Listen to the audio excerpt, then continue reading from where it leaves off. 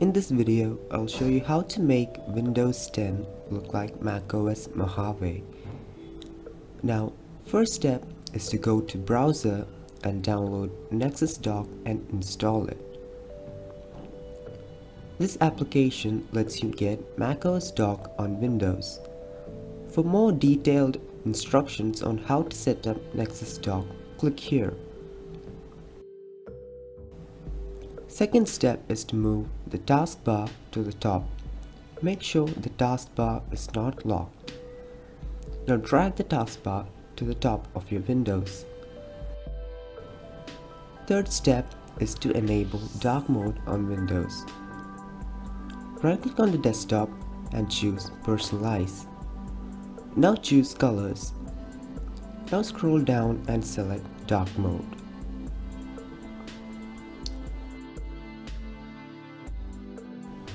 Fourth step is to change the wallpaper to macOS Mojave.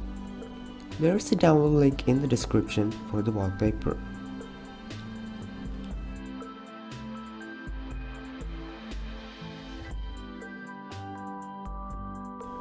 Fifth step is to get stacks on Windows. For that, go to browser and search for Fence software. Download and install it. Now copy files to your desktop. Select the files you want to organize and click on Create Fences for these icons. Repeat this step until you finish organizing.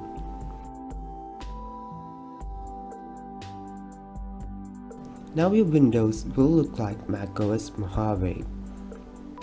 Hit like if you found this video helpful and thank you for watching and I'll catch you guys in the next one.